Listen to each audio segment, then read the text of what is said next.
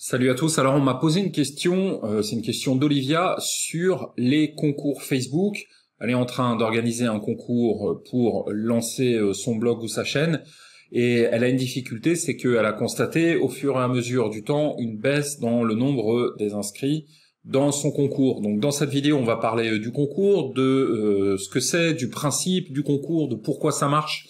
Je vais vous expliquer euh, moi les différents concours que j'ai fait à titre personnel, les résultats que j'ai obtenus, et puis euh, bah, j'expliquerai comment justement maintenir un niveau d'inscription euh, élevé quand on fait du concours. Alors, le concours, donc sur Traffic Mania, il y a une formation sur les concours parce que moi un jour j'ai essayé de faire un concours et j'ai vraiment été très très étonné par euh, les résultats que j'avais obtenus. Donc euh, euh, à l'époque j'avais lancé un blog, j'avais organisé un concours, j'ai fait deux fois des concours. Et en 30 jours sur le premier blog, on a fait 2190 inscrits en 30 jours en partant de zéro avec un blog vide, juste en faisant un concours sur Facebook, donc en achetant un lot et en parlant sur Facebook ben, pour qu'on pouvait gagner ce lot, etc. etc. Et moi j'avais une, une, vraie crainte par rapport à ce concours, c'est que ben, les gens qui viennent s'inscrire, ça soit des touristes et pas des gens vraiment intéressés par la thématique. Et aux surprises, euh, bah, j'ai pu constater par la suite que c'était pas des touristes parce que euh, dans les emails que j'ai envoyés après euh, pour présenter mes futurs articles, mes futures vidéos,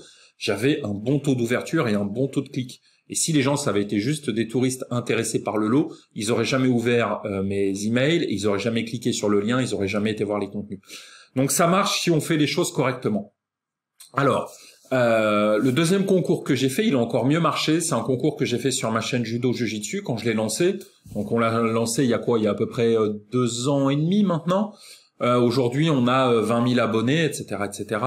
c'est un business qui marche bien, même si avec le Covid, le confinement, bah, comme les clubs de judo étaient fermés, bah, évidemment, il y a eu un vrai impact sur les ventes. Mais voilà, on est confiant, moi et mes associés, pour la reprise du business à la rentrée. Euh, sur ce concours, en 30 jours, pareil, en partant de zéro, hein, zéro inscrit, zéro trafic, zéro abonné, que dalle. On a fait 2400 inscrits en 30 jours euh, avec ce concours, donc ça marche euh, là aussi super bien. ça marche parce qu'on a choisi un lot qui, qui était un lot qui intéressait les gens de la thématique, qui permettait d'éviter les concouristes professionnels. Voilà, ça c'est les touristes, c'est les gens que vous voulez pas avoir sur votre blog parce qu'encore une fois c'est des gens qui viennent juste pour le concours mais qui derrière vous achèteront jamais de formation et euh, bah, ça a vraiment permis euh, bah, d'avoir du trafic directement ensuite dès nos premiers contenus donc en l'occurrence des vidéos sur YouTube voilà on avait 2400 euh, inscrits donc c'est sûr quand vous envoyez un email à 2400 personnes pour votre première vidéo bah boum ça permet déjà de bien propulser la machine et de démarrer fort donc le principe du concours, il est euh, très très simple. Et pourquoi ça marche bien? Bah, Tout simplement parce que c'est très très attractif.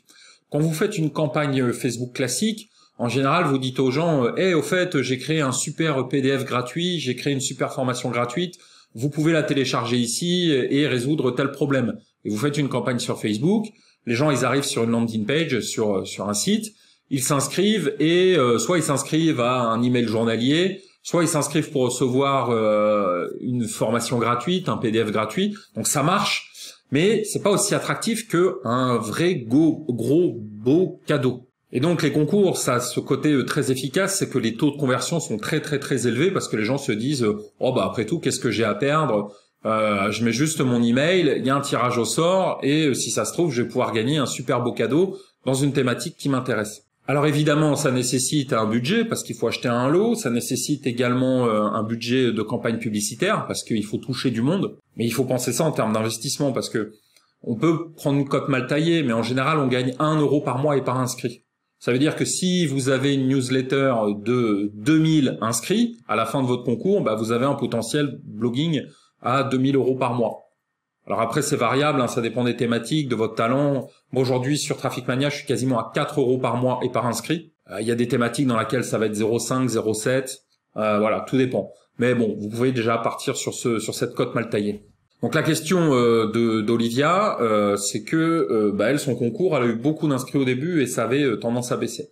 Donc moi, ce que je lui recommande de faire, c'est de faire ce qu'on a fait dans le concours sur ma chaîne Judo Jujitsu c'est-à-dire de multiplier les, euh, les annonces. Il faut pas juste faire une campagne pendant 30 jours, il faut multiplier les annonces. C'est-à-dire que nous, sur la chaîne de euh, Judo Jiu-Jitsu, Je crois que bah, le concours durait 30 jours. On avait tourné 30 mini-vidéos de genre 30 secondes, 40 secondes. Donc on voyait le prof de judo qui faisait un mouvement. Et à la fin de la petite vidéo, on appelle à l'action. Voilà. Et si vous voulez gagner machin, machin, machin, inscrivez-vous à notre concours. Ta ta ta ta ta ta. Le lien est en dessous. Et en fait, bah, tous les jours, je balançais un post Facebook et tous les jours, je mettais un budget. Donc tous les jours, je pouvais animer euh, la, la, la, le, concours en republiant quelque chose de nouveau, ce qui permettait d'avoir un taux et, une comment dire et un nombre d'inscrits qui était euh, constant euh, parce que c'était toujours du contenu qui était frais. Donc il faut éviter de faire une longue campagne d'une semaine, quinze jours, parce que toujours, toujours sur Facebook, au bout d'un moment, vos campagnes, euh, bah, elles convertissent moins parce que les gens les ont vues. Les gens qui étaient intéressés, ils se sont inscrits une fois.